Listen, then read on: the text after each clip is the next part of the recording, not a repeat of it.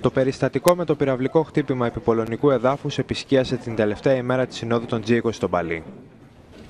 Παρά τις διαφωνίες που υπήρξαν ανάμεσα στους παγκόσμιους ηγέτες σχετικά με το τελικό κείμενο των ανακοινώσεων, εν τέλει εξέφασαν τη λύπη τους με τους εντονότερους όρους για τη ρωσική επιθετικότητα στην Ουκρανία και χαρακτήρισαν την πυρηνική απειλή απαράδεκτη.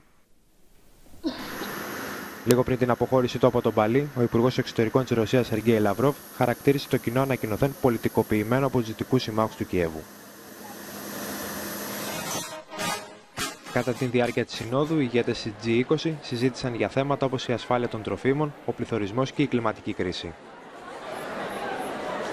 Στην κορυφή της ατζέντας ήταν επίσης η ρωσική εισβολή στην Ουκρανία και το εφελτικό σενάριο της πυρηνικής κλιμάκωσης. Η διεθνής κοινότητα παρακολουθεί με ανησυχία τις εξελίξεις. Σημειώνεται ότι ο πρόεδρος της Ρωσίας Βλαντίμιρ Πούτιν ήταν απόν από τη Σύνοδο.